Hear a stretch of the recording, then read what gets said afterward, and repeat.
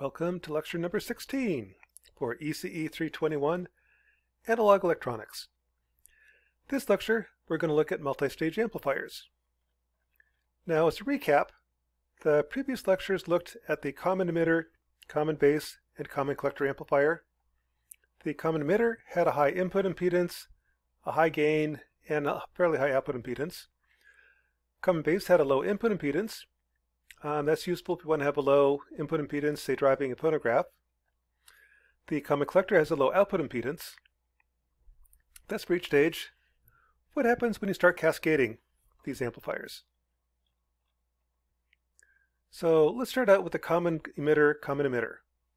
So this circuit right here looks rather intimidating. It's actually not all that bad. If you look at it, here's one common emitter amplifier isolated from the rest of the world by capacitors. Here's another common emitter amplifier, isolated from the world by capacitors. The input of this one's at the base, the emitter's tied to ground, output's at the collector, in common emitter. Second stage, input's at the base, emitter's tied to ground, output's at the collector. So I've got two common emitter amplifiers cascaded. This is where the two-port models really shine. This circuit is kind of intimidating to look at, intimidating to analyze. If I were to replace each stage with this two-port model, it's not nearly as bad. So let's do that. Replace the first stage with this common emitter model. Replace the second stage with this common emitter model. Notice this is way easier to understand than this circuit. That's why we use two-port models. It really helps in analyzing multi-stage amplifiers. Now that I have this, let's find the two-port model of the overall system. And kind of obviously, looking in, what I see is 605 ohms. So the two-port model is going to look like this. At the input, I just have 605 ohms. Uh, the output impedance. To find R out, I set the input to zero. So I'll short this to ground. That makes this 0 volts, that makes this 0 volts, makes this 0 volts. At the output, all I see is 1K, so that's the, output resistance. The gain, the way you find the gain is you apply 1 volt at the input and see how much voltage you get at the output. So, if I apply 1 volt right here, what you get is this is 1 volt, Yeah, this is the one you got to work for. This is minus 230 volts. By voltage division, it is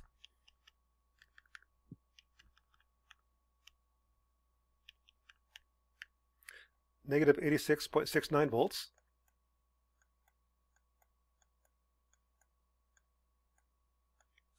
times minus 230 gives you 19 940 volts.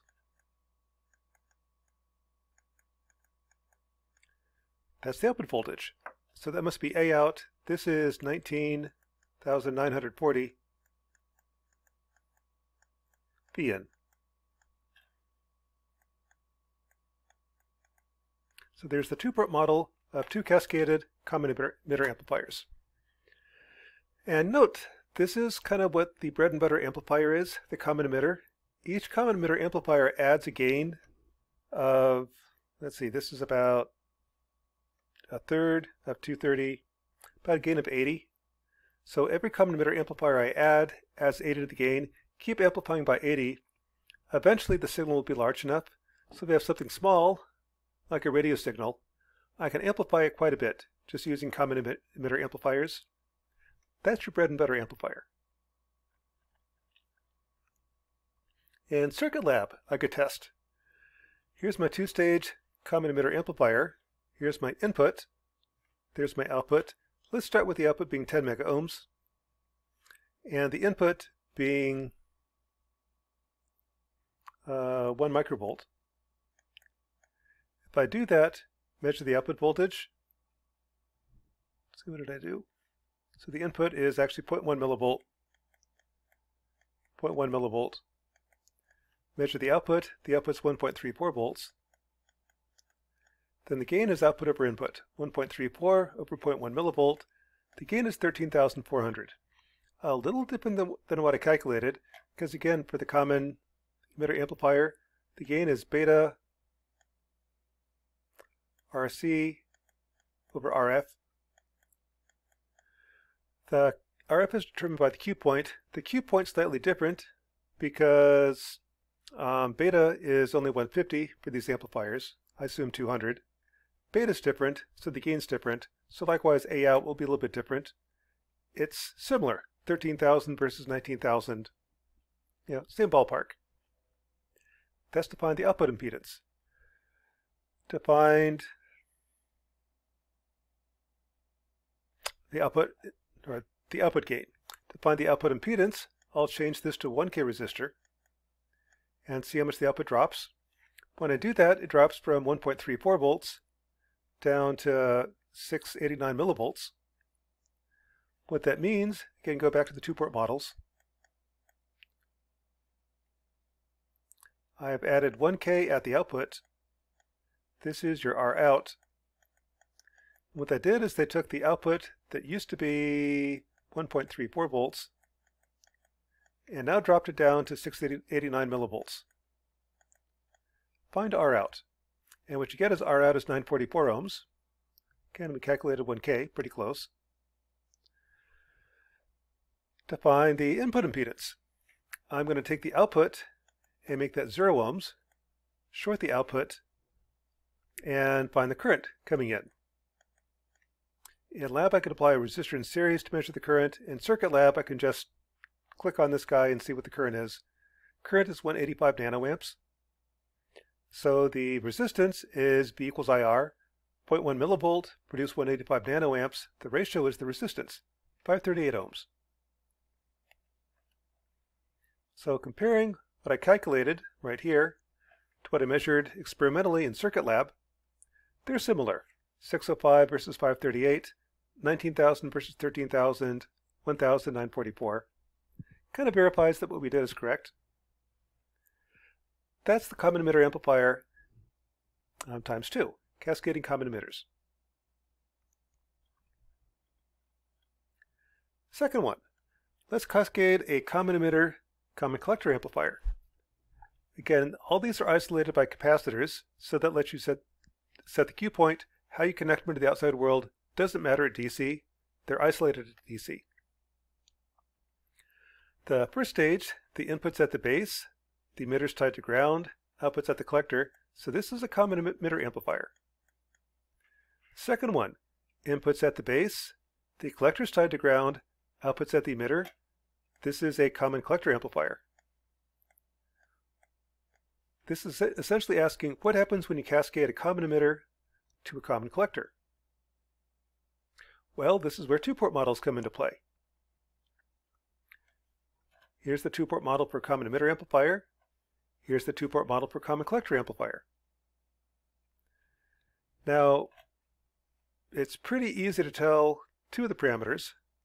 At the input looking in, I see 605 ohms, so I know right away that Rn is 605, AI equals 0. Uh, the other two you got to work for. So this is going to be the two-port model.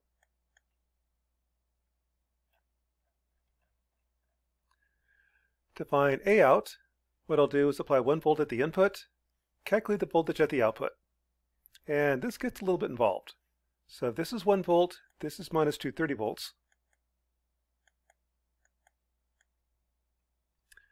Doing a voltage node equation. At V1, the current left plus current right equals 0. That's V1 minus negative 230 over 1000 plus V1 minus 0.6976 V2 over 605 equals 0. I know that V2 is 0.95 times V1, so substitute. I get one equation in V1. Solving for V1, I get V1 is minus 148 volts. This is 0.95 times minus 148. This is minus 142 volts. So I know that A out is minus 142.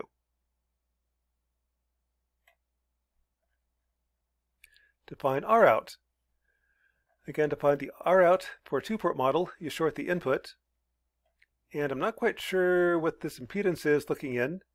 So let's apply 1 volt test voltage and find the current.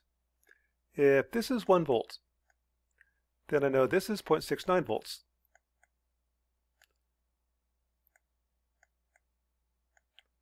If this is 0 volts, I know this is 0 volts.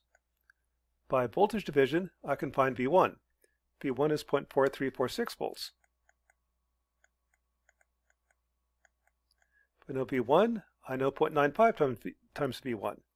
This is 0.4159 volts.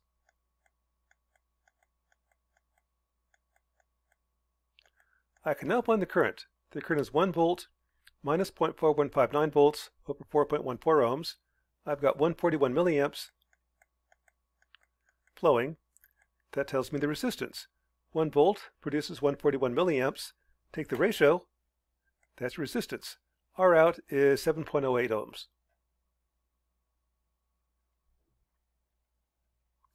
I can check that in Circuit Lab. Again, build the circuit. Now let's do four tests to find the different parameters. First, to find the output impedance, make this 10 meg. That's my load. It's something large, basically infinity. Uh, make the input 1 millivolts at 1 kilohertz, and measure the voltage of out. I get V out as 130 millivolts, so the ratio is the gain. The gain is 130. First parameter. To find the input impedance, I'm going to take the output, make it 0 ohms, take the input, make it 1 millivolt, and find the current. The current is 1.97 microamps.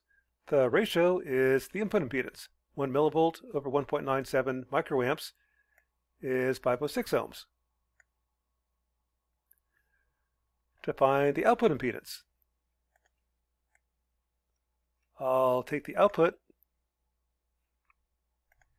and make this 8 ohms. Measure V out. And I get V out is 67 millivolts. So what you got is when the output is open, part 1, I am getting 130 millivolts. I've got my output impedance, what I'm trying to find. I just connected 8 ohms to it. And I got 67.1 millivolts. So find R out to give you that voltage division. And I get R out is 7.84 ohms. So that's my experimental two-port model. And notice the two pretty much match up. 605, 506. Again, a little different because you know, beta is different for the transistor in Circuit Lab. YSM 200, Circuit Lab uses 141. Uh, the gain is similar, the output impedance is similar. That's typical in this class. Calculating calculated numbers will be slightly different than Circuit Lab numbers. Circuit Lab will be slightly different than experimental. They'll be similar, but different. Uh, one thing to note about this. Again, if you see this, and well, what I'll do on tests and quizzes is I'll change the circuit around. So if you're memorizing it, you're out of luck. What I might do on a quiz is let's add a 2K resistor right here. Now find the two-port model. Again, if you're memorizing uh, or just looking up on the internet what was the previous solution, you'll get it wrong. You got to go through and recalculate it if we use two-port models. So here's the common emitter right here. Here is a common collector. What happens is over here on the two-port models, I've just added a 2K resistor in series. see, where would it go? It would go right here. 2K. So that conceptually doesn't really change a whole lot during the analysis. If you're doing the analysis, that's not a big deal. if you're memorizing equations or looking for the problem to be solved previously, it's not there. That's kind of what I'm going to do on tests and quizzes. Change up the problem slightly.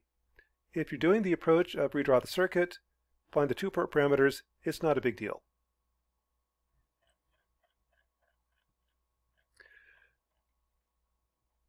Um, so in, with a common emitter, common collector, the last stage is common collector. If you have a common collector, I have that AI is not equal to zero. Usually the stages in the middle are common emitter.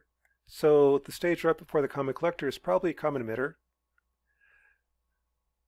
That lets you kind of have uh, three different stages three different building blocks for building a multi-stage filter. I have a common emitter. It has a high gain, high input impedance. I've got a common base, a low input impedance, high gain, high output imp impedance, and the common emitter, common collector. It has a high input impedance, fairly high gain, low output, output impedance. So this will be the last stage if I want to drive an 8 ohm speaker. This will be the first stage if I have a low input impedance, and this will be all the stages in the middle. As an example, suppose I want to drive or build a multi-stage amplifier to take a phonograph needle. Again, in this case, a phonograph is a current source. I've got one microamp, and it has a output impedance of 10 ohms. That's my input. My output is an 8 ohm speaker. What do I put in the middle? And what I want is I want the output to be at least 10 volts. Well, the first stage has a low input impedance. If I make this a 1K resistor, like a common emitter, almost all the current is going to go through the source, nothing gets to my amplifier, so there's not a whole lot of signal to amplify. I want this to be a low input impedance. It's something small, like uh, less than 10 ohms. The last stage, if I make this a common emitter amplifier, I've got 1000 ohms right here. By voltage division, I've lost all my signal, so that's not going to work very well. I want the last stage to be low output impedance, you know, as, low as possible uh, preferably zero ohms, but you know, maybe eight ohms. So the first stage would be common base. Last stage is common collector. And in the middle are a bunch of common emitters. They crank up the, the signal. The question is how many common emitters do I need? Well, that goes back to the requirement. I want to convert one microamp into 10 volts. How many stages do I need? Well, uh, let's just guess one for now. So the first stage will be common base. Second stage, common emitter, just one of them. And the last stage is our common emitter, common collector. Now let's find the voltage at the output. So to do that, well, let's go from here first. Suppose I have one microamp driving 10 ohms in parallel with 14, 413 or 4.13 ohms. Gives you 2.92 ohms. Gives you 2.92 microvolts.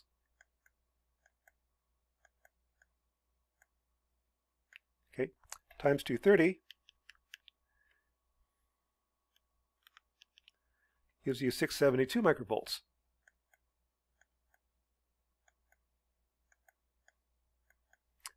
times the voltage division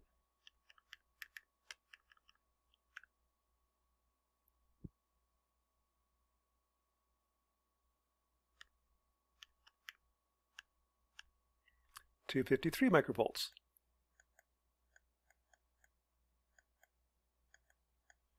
That's actually minus sign. Uh, times minus 230 gives you 58.2.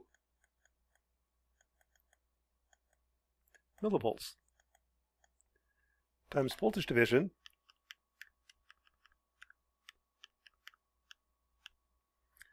Twenty-one point nine millivolts times minus one forty-eight 0.4 gives you 3.26 volts. Times voltage division, 1.73 volts. So that's kind of procedure. I go from the input, go through the different stages, amplifier, voltage division, amplifier, voltage division. That's what's nice about the two-port models. It's really not that hard. It's just always times the gain, voltage divider, times the gain, voltage divider. That's why we like these. They're fairly easy to calculate. I want this number to be at least 10 volts, and I don't have it. Uh, so that's what I have. So what I need is another common emitter amplifier. Add another one. So here's common base, common emitter, common emitter, last stage.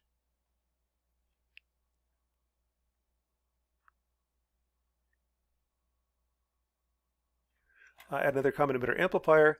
That'll add another gain of 86. So the output is now going to be 149 volts. I want it to be 10 volts. So a couple ways to reduce the gain down to 10 volts. Uh, one approach is you might have had this on a homework problem for the common emitter amplifier. If I put the capacitor right here, that gives me a gain of minus 230. If I take out the capacitor, the gain is something like minus 4. So what I could do is, instead of shorting out the entire resistor, short out part of it. At this point, I have a gain of 230. At this point, I have the gain of 4. As I move that potentiometer up and down, I can adjust the gain between 4 and 230. Um, so what I want to do is adjust it so the overall voltage at the output is 10. So this is one way to do it. Just take that last emitter resistor and only short out part of it. That's one way to make the output 10 volts. Uh, second way is add a resistor in series. If I add a resistor right here, again this is what 149 volts, too large, uh, meaning that this one is 279 volts. If I add a resistor in series between that and the output, I can drop this down to 10 volts. The problem with that though is I'm at 200 volts at this point, 10 volts at the output. I just lost all my efficiency. This is going to be a really inefficient amplifier. It's basically the ratio. 10 over 279, 3% uh, efficient amplifier. So that's not a really good solution. Works on paper, uh, not the best idea in practice. Instead of putting that resistor and dropping the gain by voltage division right here at the last stage, I could stick it over here at the first stage.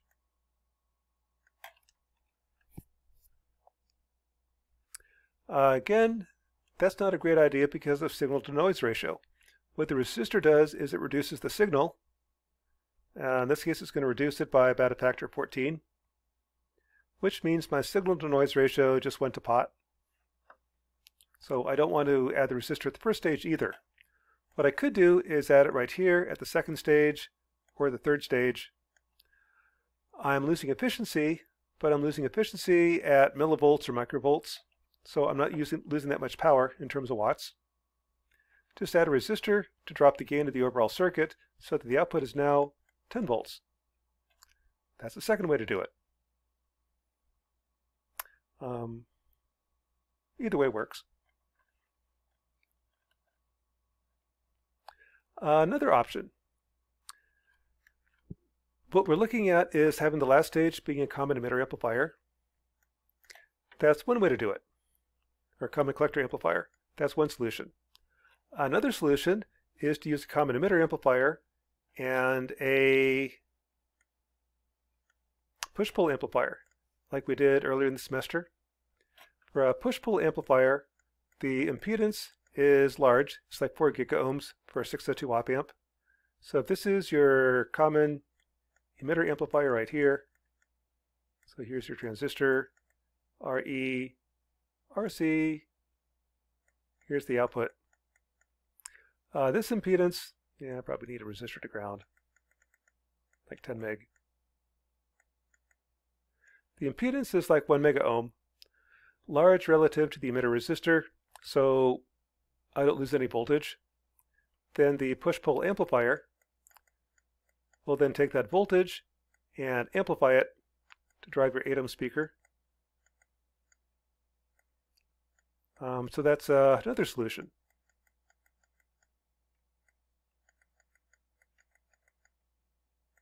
And V plus equals V minus, so there.